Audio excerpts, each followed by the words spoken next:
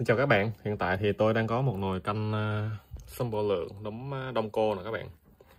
Và xương heo nữa táo đỏ nữa nè các bạn.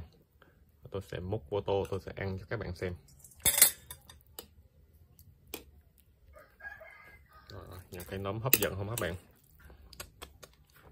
Sẽ ăn các bạn cùng tôi ăn cái tô này nha các bạn. Giờ tôi sẽ ăn nó nha các bạn. Ăn cái nấm trước đi. Còn nóng luôn nha các bạn ơi. Uhm, ngon quá.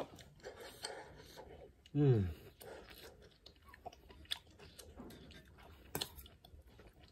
Tuyệt vời luôn các bạn ơi.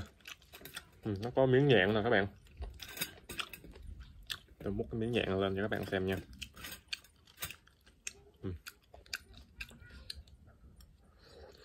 Ừ. Ăn cái miếng nhạn nó có vị ờ, ngọt ngọt đạm các bạn. Còn cái này tôi không biết là cái gì nhưng mà ăn được. Uhm.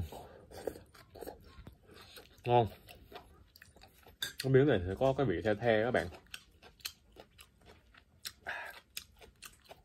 Rồi hấp một miếng canh thêm. Uhm, canh đã lắm các bạn ơi. À chắc video ở đây kết thúc. Hẹn các bạn trong những video tiếp theo nha. Tôi phải ăn hết cái tô này mới được bye bye